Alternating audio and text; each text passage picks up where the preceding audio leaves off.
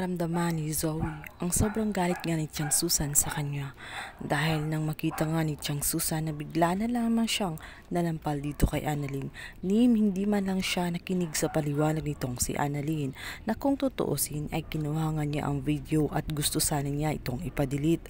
Basta-basta na lamang niya itong hinusgahan at sinampal pa agad-agad.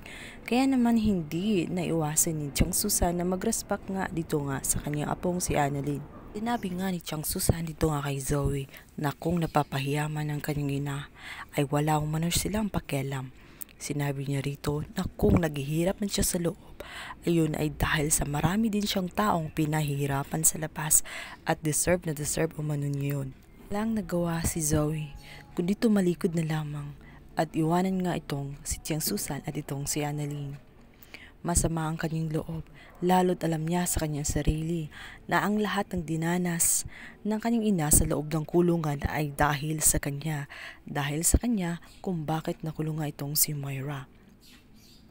Subalit sa kabila ng lahat ay umiiral na naman ang pagkaeng-eng nitong si Annalyn dahil nagawa pa rin niyang sundan itong si Zoe kahit na nasampal na nga siya nito. Dito ay susubukan pa niya itong pakalmahin at i-comfort si Zoe. Sa kabilang banda, si Zoe naman ay nakakaisip. Sinabi niya rito na kailangan makuha niya ang loob nitong si Annalyn nang sa ganon ay maawa ito at subukan ang palabasin itong si Moira. Sa kabilang banda, ito namang si Moira dahil sa sobrang hirap na kanyang dinana sa loob ng kulungan. Nagkaroon siya ng matinding depresyon na raw nangang naaalala niya ang boses nitong si Lolo Pepe. Animoy may kausap na nga siyang ibang tao sa loob ng kulungan. Kinokonsensya siya ng matanda sa lahat ng kanyang pinagagawa. Tila'y nababaliw na nga itong si Moira dahil nagsasalita na ngang mag-isa. Tapos nga siyang paglaruan sa loob ng CR ay iniwanan lang siya basta-basta at nilak pa ang pinto kung saan punong-punungan ng dumi ang loob ng CR na yun. Nakakasuka na nga ang kanyang itsura at ang baho ba niya sa loob. Umiiyak na lang siya sa sulok. Nang makitang wala nang ang mga tao sa kanyang paligid, maya-maya pa nga sa kanyang pagkakatok ay narinig siya ng bantay sa loob ng kulungan. Doon nga ay sa wakas nakalabas rin siya ng CR Agad siya ang kinausap ng warden at dito nga itinanong sa kanya kung ano ang nangyari sa kanya sa loob ng CR.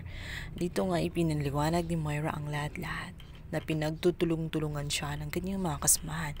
Agad na pinatawag ang mga iyon at pinagtuturo kung sino-sino ang mga iyon. Dito nga ay bilang kabayaran sa kanilang pinagagawa. Sinibayan si Moira na kailangan gagawin niya kung ano ang ginawa sa kanya. Ilang banda, hindi matiis ni Zoe na hayaan na lang ang kanyang ina at walang gagawing hakbang kahit pa paano para matulungan ito. Kaya naman agad niya pinuntahan ang kanyang daddy. Alam niya malambot ang puso nga ni RJ at madali itong maawa sa kanya. Dito nga'y sinabi niya na kailangan niyang pigilan ang pinagagawa ni Giselle dahil alam niya na may ginagawang hindi maganda itong kanyang tita Giselle laban sa kanyang ina. Balik kahit umiyak-iyak man siya sa kanyang daddy ay walang magagawa si RJ dito nga kay Giselle lalo't pinaliwanag ni Giselle na ito nga si Myra ay kahit nasa loob siya ng kulungan ay kaya pa rin nitong gumalaw dahil mayroon siyang pera. At malakas ang kutob niya na mayroong taong tumutulong sa kanya. Hindi si Zoe dahil alam niyang hindi pa nakakalapit si Zoe sa kanya.